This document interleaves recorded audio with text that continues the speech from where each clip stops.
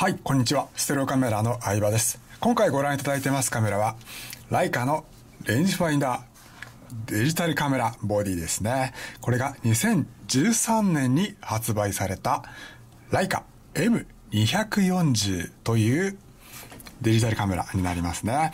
え M 型のフルサイズの、えデジタルカメラになっております。はい。えー、フルサイズの CMOS センサーが搭載されたデジタルカメラになりますね。えー、CMOS センサーですので、えー、ライブビュー機能に、えー、対応してるんですね。なんで、この背面液晶を見ながらですね、えー、レンズが通した映像を確認しながら、こう画角を決めることができるんですね。なんで一眼レフカメラと同じように、こう、レンズを介した映像を確認しながら撮影することができるようになったんですね。えー、レンジファインダーももちろん搭載してますので、レンジファインダーとこの一眼レフみたいな、えー、機構ですね、えー、このシステムを共存させたデジタルカメラとしてえー、革命的なボディであったというふうに思ってますね。当時はですね、このライカ M240 がすごく僕もハマってですね、えー、すごく使い倒していたことを思い出しますね。もちろん、えー、デジタルの映像だけではなく、こう、ムービー機能にも対応してまして、これで動画もですね、たくさん掲載、えー、撮影しましたよね。はい。フルサイズで、えー、240万画素の、えー、画素数を、えー、誇っておりますね。はい。しかもですね、これ、防振、防滴機能がありまして、結構旅カメラとしてもすごく使い出のあるボディなんですね。はい。ということで、ライカ M240、ぜひですね、チェックしていただけたらと思います。この背面の液晶も大きくて解像度も高くてですね、すごくおすすめのボディですね。えー、2013年発売で、すでにですね、まあ、10年近くですね、えー、発売から経っておりますので、それまでにですね、誰か M10、MQP とかいろいろ出てますので、価格的にもこなれてきておりますので、えー、すごくおすすめとなっております。でもって今回は、ご覧の通り、シルバークロームのボディですね。結構ですね、シルバークロームよりも、ブラッククロームのボディの方が結構人気があったりするんですけれども、僕的にはですね、やっぱりライカってこのシルバーじゃないかなと思うんですよね。えー、ライカ M3 もこの通りシルバーですね。なんで、こういったライカのオールドレンズをですね、こう装着していただくのに、このシルバーのレンズにはやっぱりこのシルバーボディが合うんじゃないかというふうに思っておりますので、ぜひですね、今回お早めにチェックしていただけたらと思います。はい。では、外観から見ていきますね。はい。えー、今回もですね、とても綺麗な個体が入っておりまして、ご覧いただいてます通り、目につくすれ、当たり、へこみとか、使用感という使用感、ほぼ見当たらない大変備品の個体となっております。トップカバーにもよく見られるスレ、当たりなど見られないですね。こういう肩の部分にも当たりなどは見られない感じです。サイドにもストラップの跡とかアイレットの崩れなど見当たらないですね。はい。液晶ももちろん非常に綺麗な状態です。はい。液晶は傷がすごくきついにくいサファイアガラスが採用されてますね。こういうボタンの白い文字も消えとかないですね。はい。底蓋部分ももちろん、ご覧のように、保護、えー、傷防止保護フィルムが貼られたままになっておりまして、三脚の跡とか、地面に置いてこうガリガリっとやってしまった跡とか、もちろん落下して当たった跡なども見受けられないですね。はい。針側の剥がれめくれももちろんありません。変色とかもないですね。はい。ファインダーももちろん綺麗ですね。えー、こうフロントから見ても、曇りカビ、バルサム切れ、チリホコリの混入など見られないですね。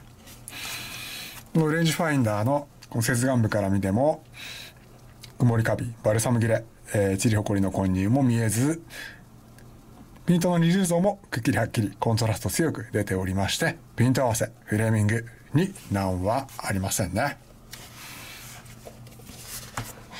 はい。えー、何枚か下も行っておりますが、撮影に際して一切の不具合などはありませんね。メニューも直感的に使いやすいメニューになってますね。はい。えー、ご覧の通り、液晶に焼けとか傷などもありませんね。はい。ご覧のように非常に解像度の高い背面液晶ですね。死者をご覧の通り何枚か行っておりますけれども、すごく綺麗な写りになってますね。ご覧の通りです。液晶にすれとかですね、傷とかゴミの汚れなど見受けられないですね。はい。こんな感じです。はい。動作単調で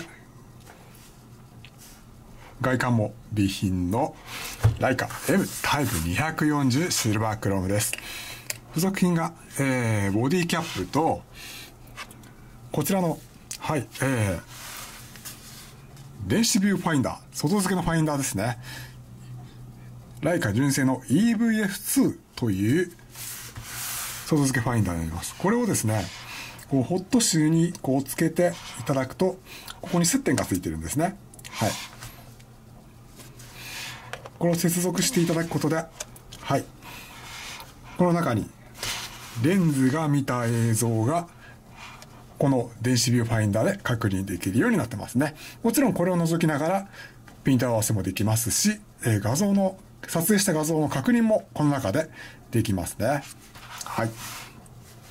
もちろんこちらのレンジファインダーも使用することができますし、この背面の液晶を見ながらライブビューで撮影することもできます。はい。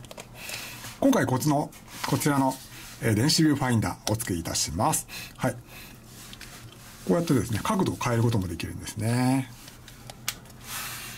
それとですね、こちらの、はい、サムズアップ、このホルダー、これですね。これもホットシューに差し込むんで、えー、これと同時で使うことはできないんですけれども、こうやってはい、撮影することもできますね。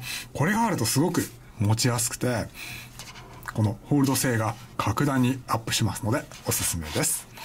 こちらもお付けいたしますね。はい。電子ビューファインダーと同時使いができませんので、それだけ一応ご留意ください。はい。それと、底蓋を開けますと、はい。バッテリーがもちろん付属してますね。これが1個つきます。SD カード、これだけですね、えー、今回テストで入れてありますけれども、えー、これは別売りとなっておりますので、申し訳ありませんが、別途お求めください。はい。